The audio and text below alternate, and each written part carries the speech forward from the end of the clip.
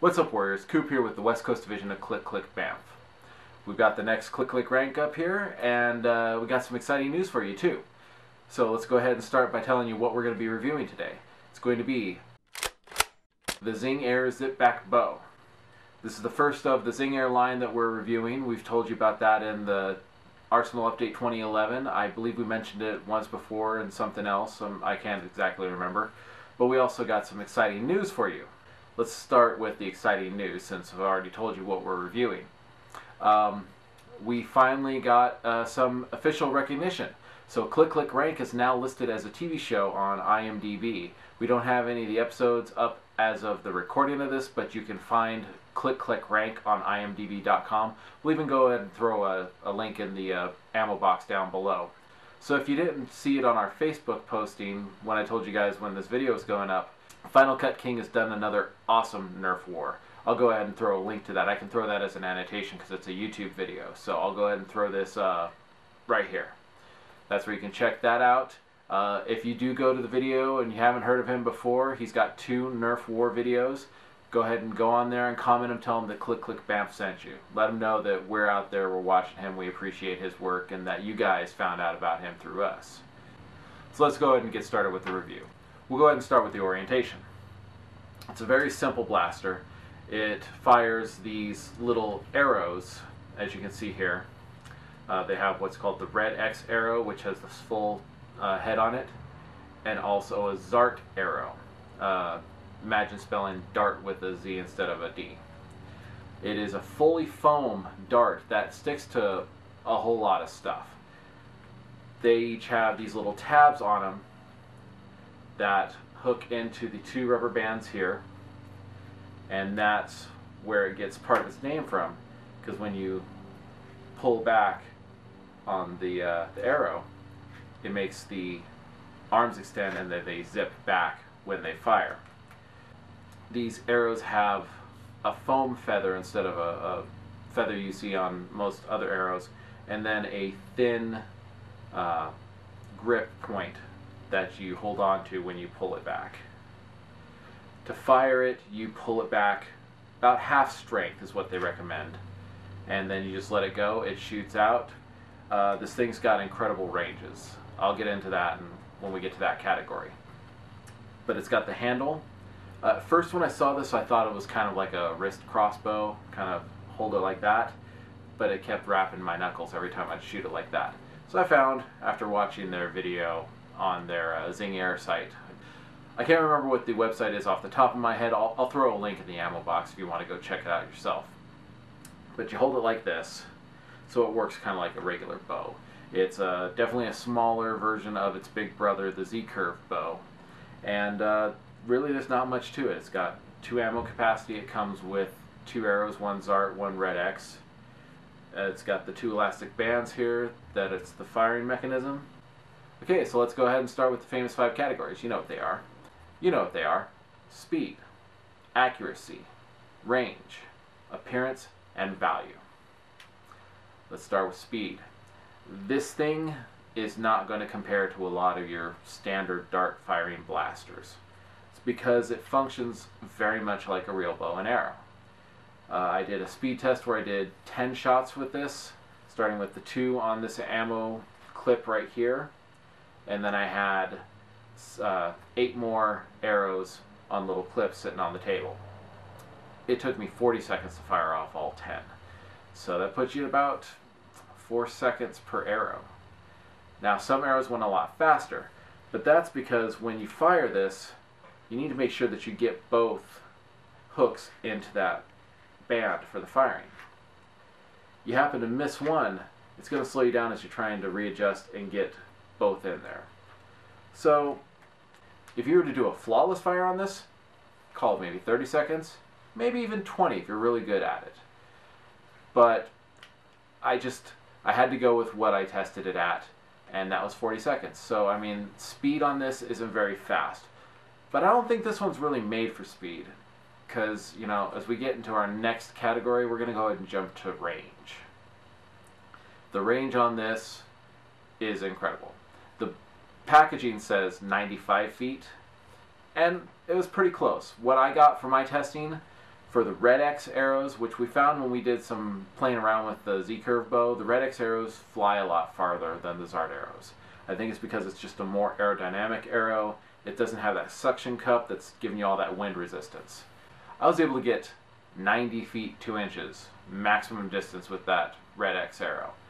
The average was like 68 and I didn't do arc testing on this just because we were starting to get a lot of winds. If you've been watching the news about the time this video posts, California has been racked with wind. I decided it was time to finish with the data. I got 10 shots off straight with a Red X arrow and 10 shot off straight with the Z curve. At that point, arc testing, we found with the Big Brother, the Z curve, we hit 225 feet on an arc fire you know, if we get around to posting a review for that, you'll get the full data. And, you know, I'll, with annotations, I should be able to, uh, when everything calms down, get that arc testing and throw it up there as well. Now with the Zart arrow, it was a little different. Like I said, that suction cup's probably causing wind resistance. It's just not made as aerodynamic as the Red X. It got uh, 43 feet as an average on that with a 52 maximum. And that's not bad either. When you're comparing it to standard Nerf blasters, those are pretty good ranges. I mean, it just comes into a safety issue when you think about it because these fire a lot harder. Uh, maybe if it's a smaller person, a younger person, maybe they're not doing a full pull like I'm doing. It might be a little safer, but I wouldn't recommend putting all your hopes into getting this into a war. It's really going to come down to whoever your safety officer is and you know what they feel when you test it out with them. So let's go ahead and jump back into accuracy. This thing I'm starting to uh, question how far I should put out the tests when I do them because a six feet range, I got an accuracy of nine. It's not bad, uh, but these things are huge arrows. I wasn't really expecting to miss a whole lot. In fact, I was kind of surprised that I missed one. Let us know what do you think is the proper range for an accuracy test with our reviews. We can always go back and use annotations to give you the new accuracy score with the, the new distance or just a video giving you an update on the accuracies for the other episodes. But from here on out, I think Chris and I are both getting really good at using these to its maximum possible accuracy. So is 6 too close? Should we try 10, maybe 15? You know, it's going to make it a little more difficult because right now a table sets up in just even any room and it works for us. But we want to do stuff that's going to be a good test for you guys. So leave, leave in the comments below, what do you think is the perfect range for accuracy? So now let's go into the appearance. Now, as you guys remember, appearance also covers the functionality of it. So this isn't going to score as high as you might think, and if you really just don't like the way it looks, it probably scores better than you thought it should. You know, honestly, with the thought of it being a wrist crossbow, if you were to uh, fix these in an outward position, and maybe just uh, remove the, the handle and put it onto some kind of uh, wrist apparatus, you know, if you're into cosplay, so you're really going to have to kind of play with that and see what you can use it for. So when it comes to the functionality, like I said, you get those two hooks in there, you pull back. When it's out like that, you know, it's a little small for me to give me that wow, that's cool kind of reaction. I get that from the Z curve. I don't get that so much from the zip back. I think it's kind of cool the way that the arms go out and then fly back. But uh, it's just that would be more for if it was like this and you could click a button and it flipped out and it was ready to fire at that point. That would give me that cool sensation. It would feel like it's a pocket bow. Right now, it's just a little bow that the arms only go out every once in a while. So once again, with the functionality of this, because it does shoot fairly hard, and as the box says, you're only supposed to use a half strength pull. They don't recommend you shoot it at people or animals. I can see why. We tested the Z-curve bow full strength pull at Chris at 15 feet away. This was right before I moved to California. It hit him pretty hard. It left a welt, a big welt. about the size of the head of the arrow big welt. I'm really not sure anyone's going to let you use this in a war, and that kind of affects the value category, which I'm going to get to in a second here. It's a fun thing. You know, these things bounce off walls really well. And with the range that you can pull off on this, it might just be a fun thing to experiment if you're going to like archery or you know if you just want to kind of have something to do set up some some targets and just get out there and fire at it but seeing as a lot of our viewers really use them for wars and nerf battles and everything like that ah, I like it it's fun I just don't know if I can recommend it for that in fact I'm pretty sure I can't so the functionality of it really cut the score way down. Alright, so now let's go to our last category, value. On the Zing Air site, I found this for $16.95. They say you save, you're saving on 11%. At Toys R Us, which is where I picked it up at, I ended up paying 20 bucks for it. The value of this, uh, you can't use it in a war probably. It comes with two arrows, but that's two arrows.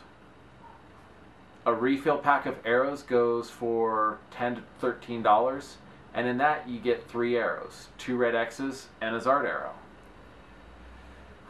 If you're bringing enough arrows to fight in a war, if they let you use it, you're probably looking at close to $100 just to be able to get off enough shots before you start running around going, where are my arrows, where are my arrows, you know? And that gives it a knock on the value category. The fact that it pretty much uses just these two arrows. Uh, it's not like there are third-party manufacturers of these arrows. You know, like Nerf always says, you know, don't don't modify them. Uh, you could probably make something to fire with this, but at that point, is it going to be costing more than it would be to buy their own arrows and would you be making something just so it is safer to use in a Nerf war? It's hard to say the value really suffers because of it. If you're looking at it as just something to maybe a younger child, you're looking at having try this out to see if they're into archery, 20 bucks isn't bad. Even 35 if you throw in an extra arrow pack. But as a foam weapon, in and of itself, an out of the box review, even though it's on a blister card, it's not really in a box. There's so many better things you can spend $20 on. So, if you're looking for a novelty, if you're looking for something different, if you're looking for something that you can practice archery with without having to use an actual bow and arrow, I'd say pick it up. I'd say pick up its bigger brother, the Z-Curve bow, first for an extra five bucks. But, you know, it's, it's not bad. I can't say don't buy it. I'm just saying if you're doing it for Nerf Wars, there are so many better options for 20 bucks. So that pretty much winds it up. Let's go ahead and uh, check out those scores. Some of them are good, some of them aren't.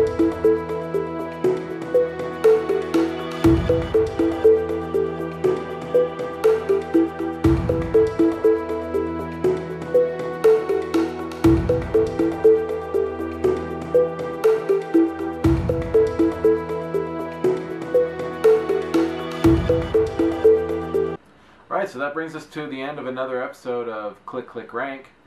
Now that we're on IMDb, we're like official. It's kind of cool. And uh, you guys are all to blame, if you want to say, but thank you guys for watching because it's the views that you guys give us on the YouTube channel that made IMDb realize that we're actually a legitimate review show. So thanks to you guys for watching. You made that all possible. We're just here to help serve you guys, give you reviews. Got some good news for you guys.